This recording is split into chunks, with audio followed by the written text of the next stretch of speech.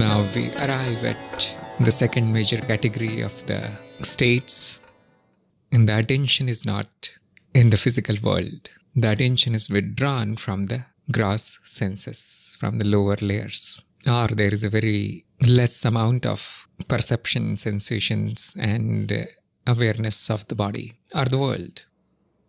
A very light state of dreaming is uh, daydreaming, which everybody must have found themselves in. It is introverted thought, imagination. There is a story, there are visuals, there are sounds, and so on. But uh, the body is not asleep. Mm, And sometimes this state can be very vivid, especially in children.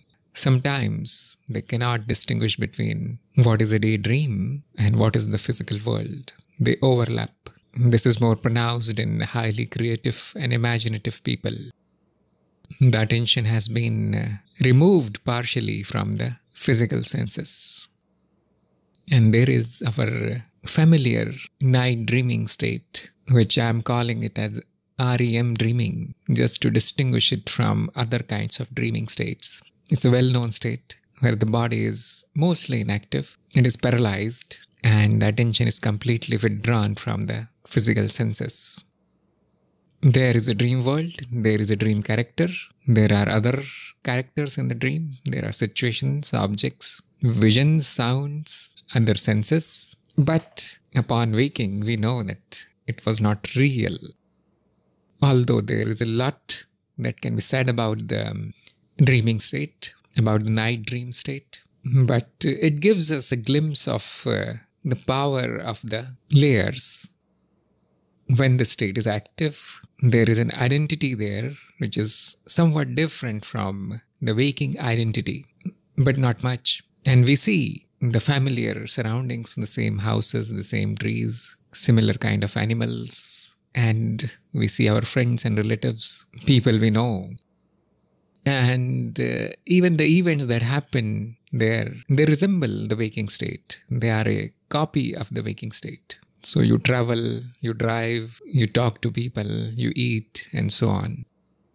So we can immediately see that something close to the waking state layer is involved here. The memory from which these experiences are coming is very close to the waking state memory. And we can see an example of the projected state here because this memory is projecting an identity, a person with a body, with a dream body, and there is a dream world. Although we do not pay attention to what is happening, but it is a miracle in itself that uh, this can happen. There is a complete uh, forgetting of the waking world, and this dream person is totally involved in the dream world, thinks that this world is real, and thinks that I am real. There are thoughts also. What is lacking is awareness. Sometimes there is a complete lack of rationality and logic. It is mostly driven by emotional states. We think that we are talking there, we think that we are seeing things. There is air, there is water, there are laws, laws of physics, and so on. But upon waking, we realize that it was all a creation. It was a projection, nothing else. So probably we'll discuss about the state in more detail and compare it with uh, waking state in future videos. Right now, we need to go ahead in the list and we enter a refined kind of dreaming state, which is similar to REM dreaming, but with the added component of awareness. Just like uh, the state of awareness in the waking state gives us more control over our actions in the waking state and our thoughts, emotions, etc. Awareness in the dreaming state gives us total control of the dreaming. And here we realize that it is possible to change the dream. It is possible to change the body, change the clothes, even change the people that we are looking at simply by will, simply by intention. And there is a memory of the person who is dreaming, the person who, whose body is asleep in bed in a real world, which means because of this heightened awareness, there forms a memory bridge between the layers involved in dreaming and the memory layer that holds the waking state information. Those who have experienced lucid dream they will now understand what I'm saying. Lucid dream is known to be completely fake because of this memory bridge. Why are other dreams not lucid and why do we forget that there is a person who is dreaming, who is sleeping in the bed because of this lack of memory bridge? The waking memories do not invade into the dreaming state, and so the dreaming state assumes a reality of its own. In the case of lucid dreaming, this memory is present that I am the one who is sleeping, and this character here in the made up scenario, in the imagined scenarios, is unreal. And not only that, the people around me in the dream, or the buildings, or the locations, they are also unreal.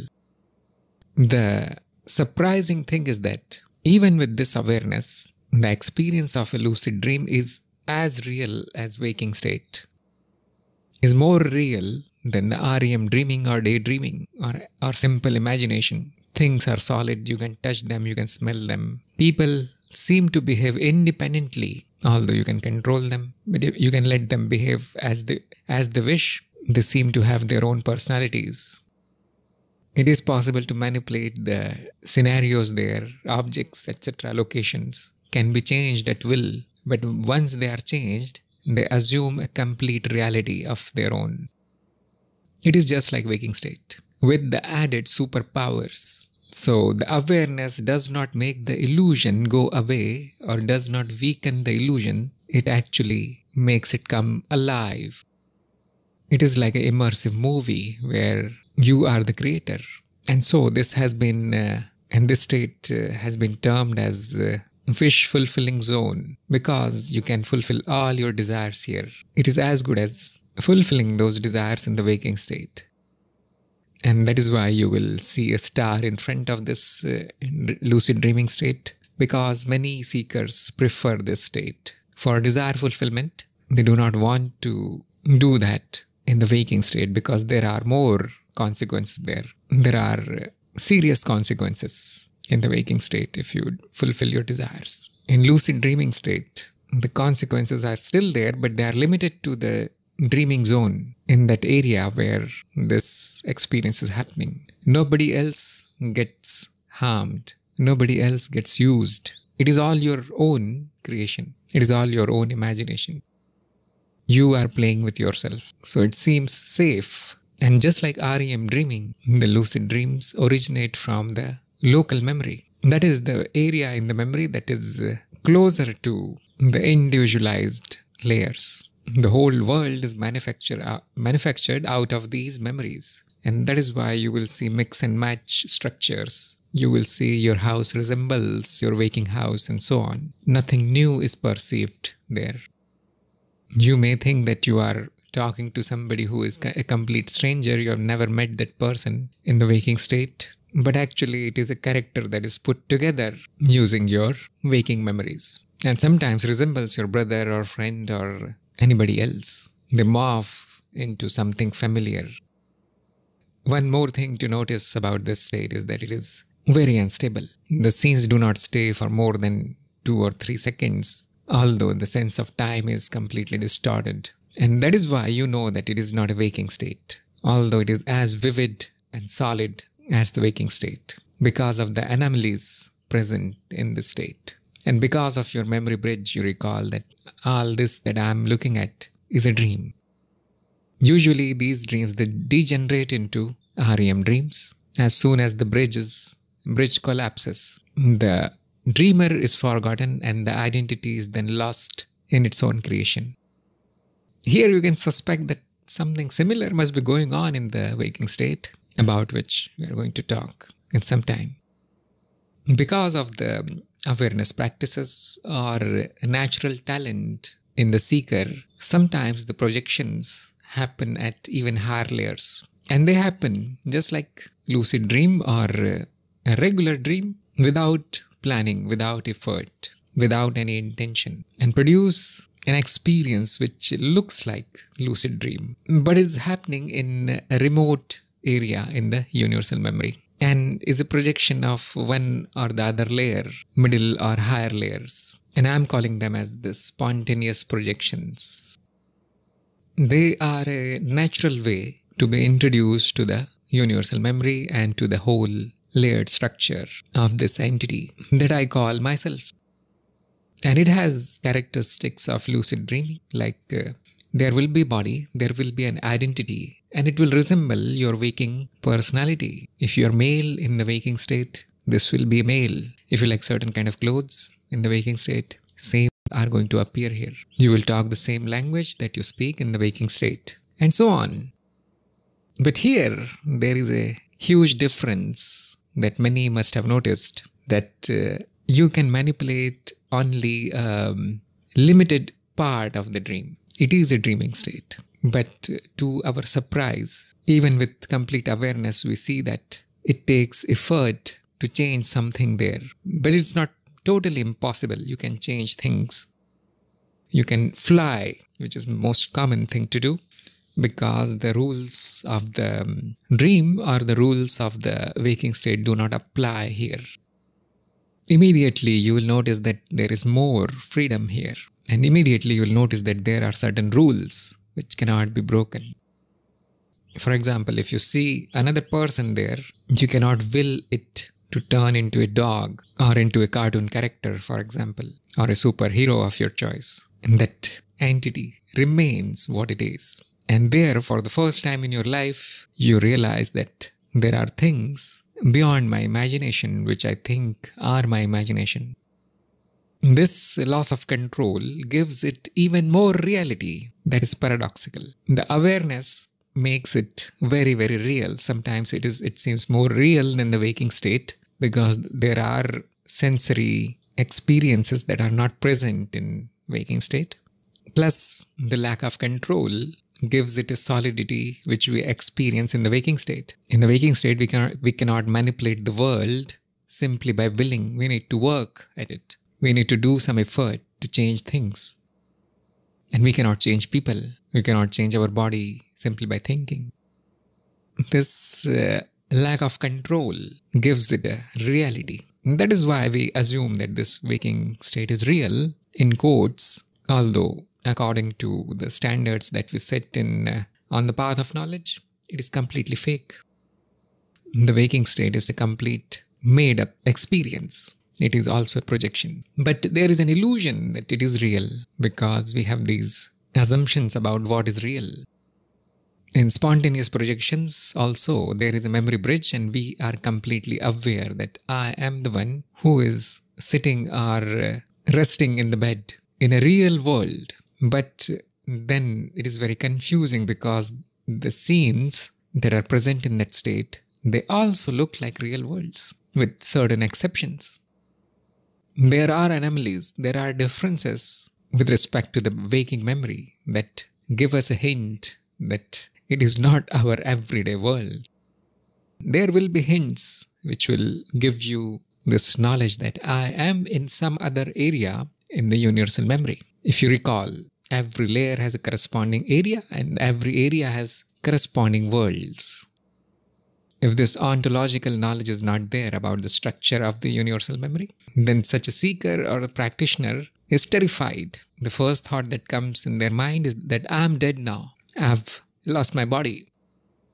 I'm not alive anymore. And this terror, this fear, is enough to bring the person back into the waking state. So, spontaneous projections are very, very fickle, flimsy. If it lasts for more than 10, 20, 30 seconds, it will be big achievement. When people touch you in the spontaneous projection, when they speak to you, it is going to appear real.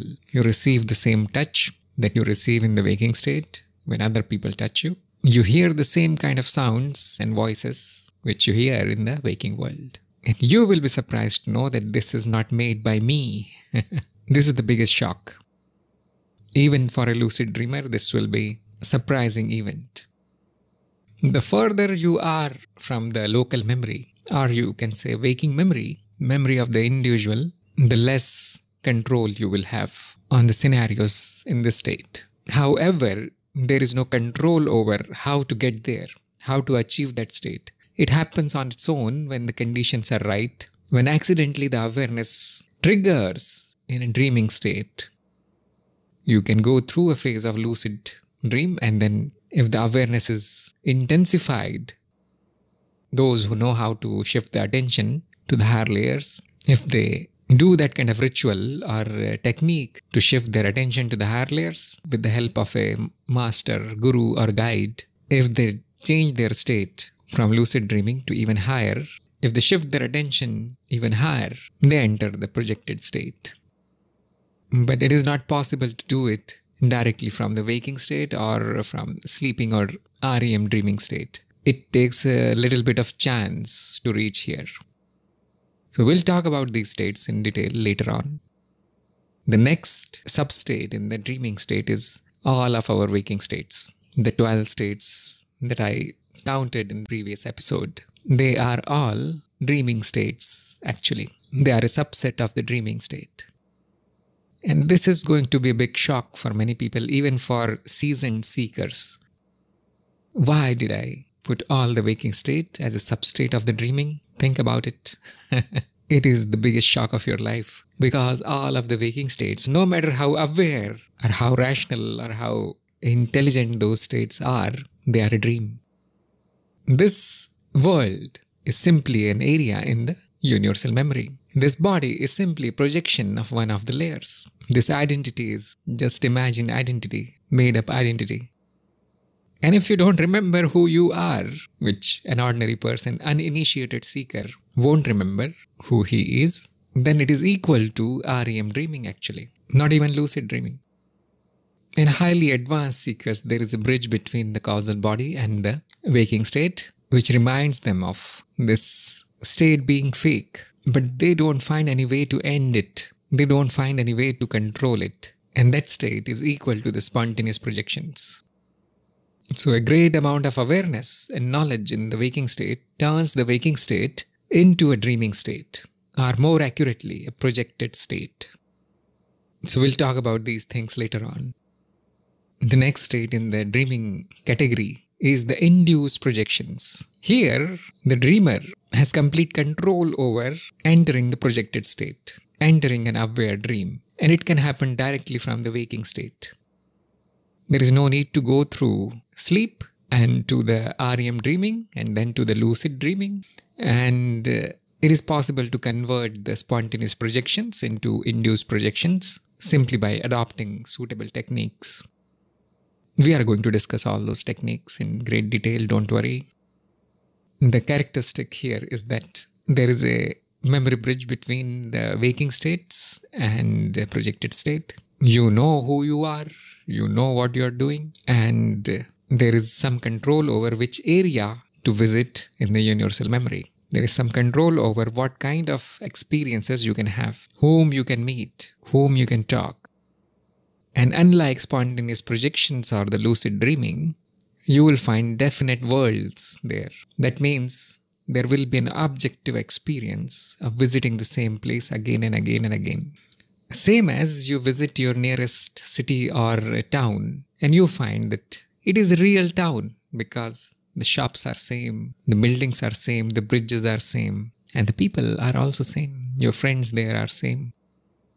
It does not look like that my waking state is a dream because of the solidity, the semi permanence. Yes, if, if you visit the town after 20 years, you will find that most of the people you knew are dead or they're gone, they shifted from there. The houses have changed, the fashion has changed, new shops opened up there, even the streets are somewhat different, and so on. There is more pollution, and so on. So, it is a semi permanent uh, experience and something similar will be found in the induced projections that uh, it is it will be possible to go to the same place and have an objective consensus experience there. You can make friends there and you will find that there are all kinds of areas, all kinds of entities, all kinds of creatures, all kinds of places that are beyond our imagination. And that is when you know that it is not my dream. It is not coming from my memory. It is not a creation of the local memory. That is how you know. And this gives it not a dream-like quality, not a fantasy-like quality, but hyper reality. The hyper real state is a good word to describe what it is. It may sound paradoxical that the strange creatures or the strange places should make me doubt that it is not real.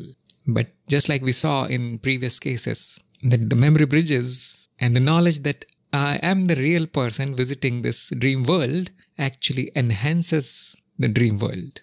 It actually makes it makes it more real somehow. The trick is awareness. The awareness gives it a reality of its own. So it is not going to resemble your waking state at all, but whatever is experienced there, you will have no doubts in your mind that it was real. Sometimes it looks even more real than the waking states because our waking state is uh, devoid of awareness most of the time. The pressure to survive is so much here that the awareness cannot be kept on for long. So the practitioners of the induced projections, they master this these states and some may choose to stay there forever, not, not return to the waking states, which are now seen as inferior states. Just like we don't want to shift permanently to our dream that we saw last night, that experience was inferior compared to my waking state, where I have my family, I have my house, my job, everything. Imagine the waking state getting converted to a flimsy dreaming state. Would you like to re- return to that state? Now, the waking has become the dream. There is more reality out there in the universal memory than you have ever experienced. And so your preferences change. Fortunately, there is nothing to worry. if you have attachments here, if you love your body and your house and your family and all, the induced projections also end and usually they will end in a few minutes and may not happen every day or every night. Sometimes the attempt is successful, sometimes it is not. And so we remain anchored in the waking state. So there is nothing to worry at all. As long as this memory bridge is there, you will not be lost in the universal memory forever. You will always come back to the waking states. And so there is a little bit of precaution that we need to take here if you are practicing these states. Keep the memory bridge active when you are projecting to the distant areas in the universal memory. Anyhow, the lure of these states is too much, and once you get a taste of it, you will never leave this practice. You will always desire for these experiences.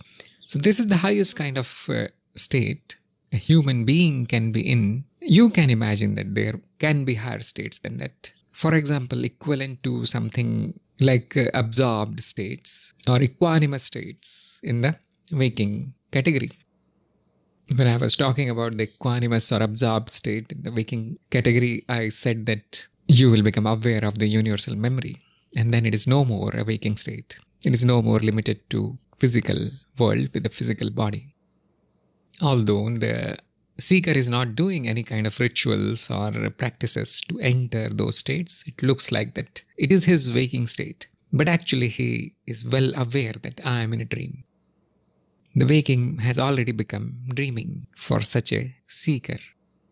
He won't be a seeker now, he will be a master. So it is possible to form memory bridges with the causal bodies and all other bodies, any kinds of memories, and then gain a control over these states. This is our higher being, or you can say this is our higher self, bigger self, our extended self, which is right now projecting into a so called physical world. Nothing physical about it, actually. So called physical body, which is a projected body, and has actually forgotten his higher being because of breaking of the memory bridges. You remember your higher being, you remember your higher self, and the waking state will turn into a dream instantly. So those who master the induced projections, they may not choose to come back in the waking state, so-called waking state. Every state is waking state for them. And they get this power to materialize into any area in the universal memory. Although many of the masters will choose not to do that unless it is very, very necessary for some reason. So, this you can call it as a liberated state also. And every experience is clearly seen as dreaming, although by the magic of paradoxes, everything is hyper real, more real than the waking states, more real than the lucid dreaming or any other state. This is the paradox. Now we are going to discuss some more dreaming states that are not as desirable as these states that we discussed just now. They happen as an attempt to reach the higher states. So one of the state is called remote viewing or channeling or healing, where the body is relaxed but the, it is not a sleep state of any kind or REM dreaming of any kind.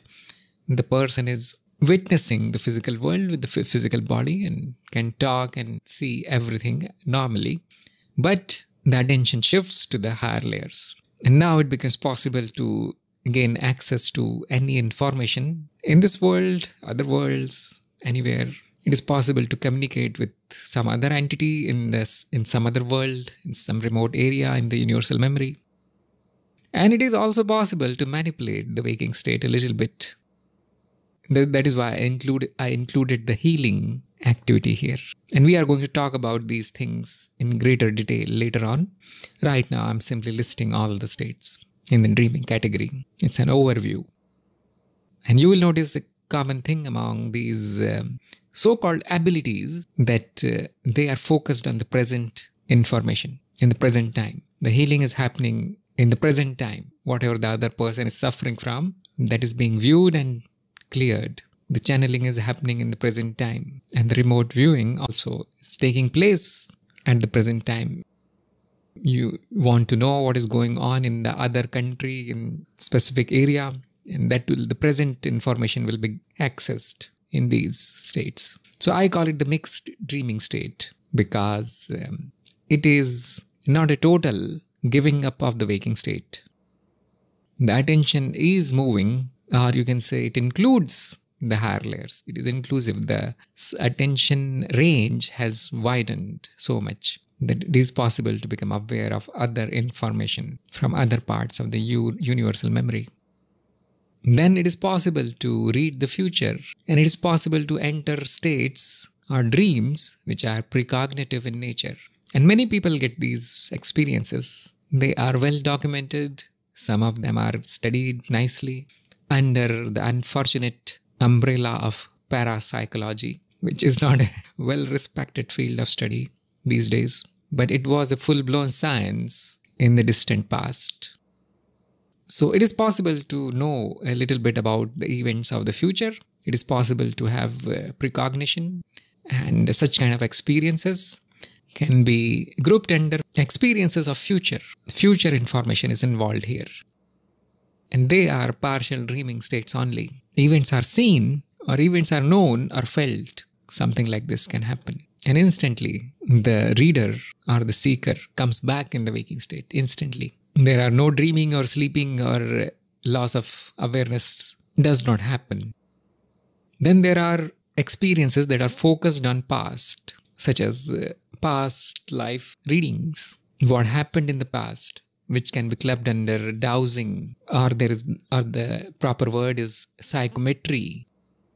A murder took place in your village, and now they call a priest or a shaman who has this kind of ability to enter into an altered state and find out what happened on the murder scene. scene. So, in our society, we do take um, help of such people, although it never becomes a news because nobody believes it, to find lost people, to find lost uh, things or uh, treasures or water under the ground. It is very, very common actually. The water dowsing is very common. Almost everybody is using it. And what do we find there? Some information which is not accessible in the waking state. It is usually related to the past time. So it can be grouped under past information state. Then there is a group of dreaming states that happen without our desiring them. They are almost spontaneous, but they are afflicted states. We don't want them. Hallucinations is, are a good example, which can happen to people who are lunatic in the in the waking state, who have mental disorders, or are highly disturbed, or there are delusions which can happen in the highly imaginative people, or you can say criminal minds also. A person can enter into a delusion that uh, my neighbor hates me, my neighbor is going to kill me, and everything that person sees in the waking state also is actually an overlap of his dreaming state, hallucinations on the waking reality. His neighbor is cutting wood in his garden with an axe. The deluded person is not going to see the wood, the, he will only see the axe covered in blood. Oh, my neighbor murdered somebody. It is afflicted dreaming state. That hallucination or that brief instance of daydreaming is so strong that the person is forced to assume that whatever I saw is real.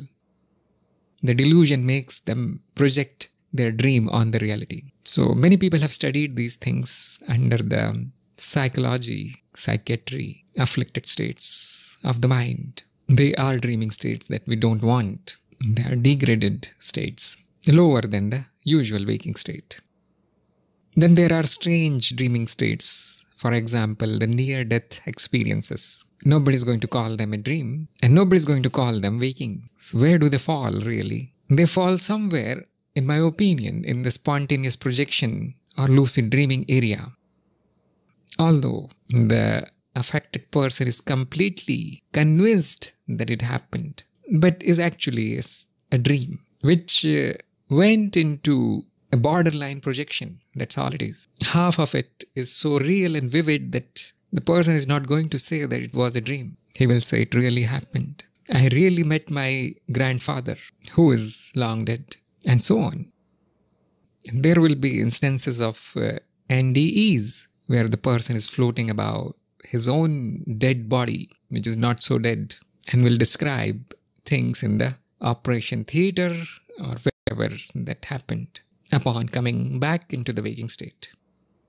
So these things are very puzzling for doctors and all, and I think there are many doctors who went through this also. And usually, because of the ignorance, people assume things about it they either become religious or become uh, blind believers of some kind instead of actually studying what happened what what triggered the state change and there is no systematic study of it although there is huge amount of documentation and and literature about NDEs those who are interested they can go and find it and read it waste your time a seeker experiments it has nothing to do with death. This physical body is already dead. It is a dead body already. Our presence here, our attention makes it alive. So it is possible to explore these dreaming states experimentally. That is what a seeker is going to prefer. There are more states that are worse than whatever we discussed here in the mixed dreaming states category and I'm going to call them afflicted dreaming states. They're worse than hallucinations or delusions or NDs, and obviously we don't want them. The first is well known actually and very popular. These are the drug induced dreaming states, also known as the entheogens, because people think that they provide some kind of spiritual experience. No, they simply distort your mind. They simply break the workings of the layers, and then whatever happens is a dreaming state.